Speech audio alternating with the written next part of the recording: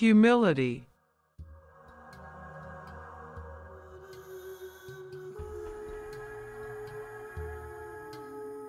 When you are truly humble, you recognize that nothing comes from you. Everything is the fruit of His love. His intelligence works in everything and everyone. To be humble is to know your place within the great divine scheme. There is no one which is more special than another. All life is as valuable as yours because they are the same being. The light that all is makes no distinctions. Only the human being who believes he is what he is not makes them. Humility puts you in your place. You, who are in this human instrument, did not create this world. You do not own this planet. You are no more special than any other species on Earth or from other planets. Your being is creation, not the creator.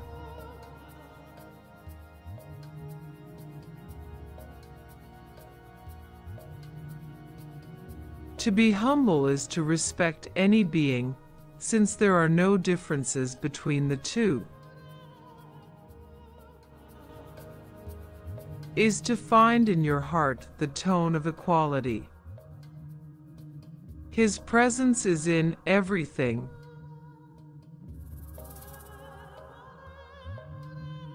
Spiritual equality is the activator of the highest frequencies of love.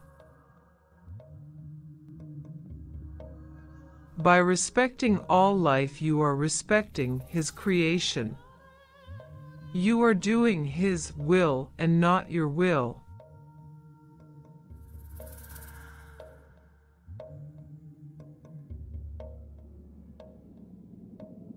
To live humility is to recognize that all that you are is the fruit of the love of First Source. You are the expression of His love, and you conduct yourself knowing that nothing exists outside His unconditional love. All that you live is His love, and that is what you accept in you and therefore in all that is.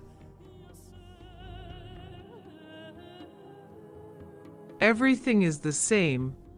What is not equal cannot be real.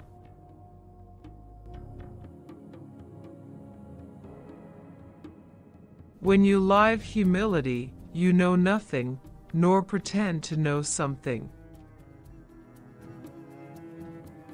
You are in your heart, and you breathe His light.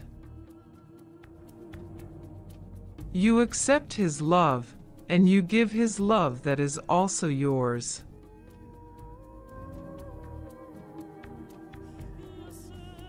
Every time you do, you meet your being and celebrate that reencounter with joy.